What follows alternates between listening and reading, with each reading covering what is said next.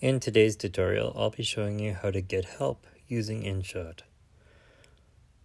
Open InShot and tap the settings icon in the upper right corner. It looks like a little gear. You'll be taken to the settings page. First, scroll down to the bottom and I'll show you how to access the YouTube, Instagram, and TikTok accounts for the InShot app. To access the YouTube channel, just tap on YouTube. Back on the settings page, if you want to see the Instagram account for the InShot app, just tap where it says Instagram.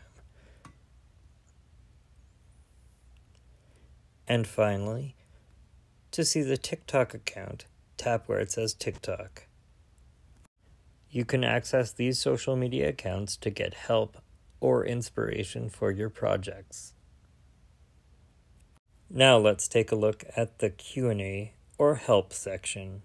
Back on the settings page, scroll up to the top and tap where it says Q&A. This will bring you to the help page, which is divided into three different categories. Along the top you can see editing, pro, and FAQ. The editing section gives you help on video editing within the InShot app. For example, if you scroll down to where it says Photo Cutout, this is a tool that allows you to remove the background of any photo and change it. As you can see if I tap on it, it says tap canvas and backgrounds to change the photo background. You can use colored backgrounds, the blurred background, or even your own photos.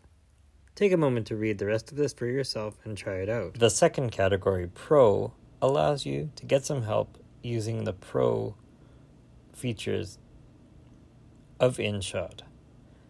Just tap on the question that applies to you. Next is FAQ, or Frequently Asked Questions. Here are a bunch of the most common problems people have using the app.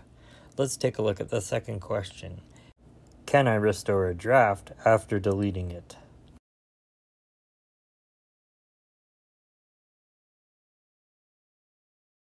If you tap on this question, it provides this answer, which says, sorry, deleted drafts can't be recovered. We fully comply with the privacy policy and won't save any user files. Unfortunately, this tells us that it's impossible to recover a project that you've deleted. You need to open a new project and you must have all of your original footage and any other assets that you've used.